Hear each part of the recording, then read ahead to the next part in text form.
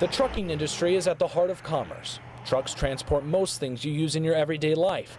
But the people who have been filling driving jobs for decades are stepping down, and employers are struggling to fill the positions.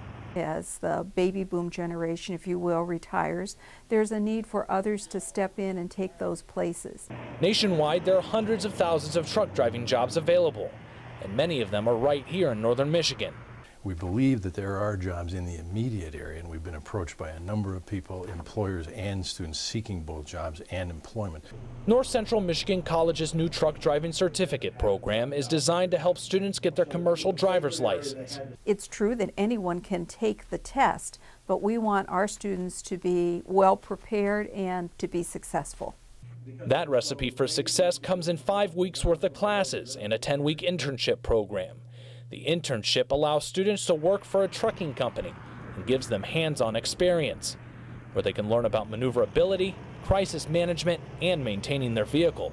That offers them the opportunity to make their mistakes in a very controlled environment with very dedicated supervision over a long period of time, duplicating actual real road conditions.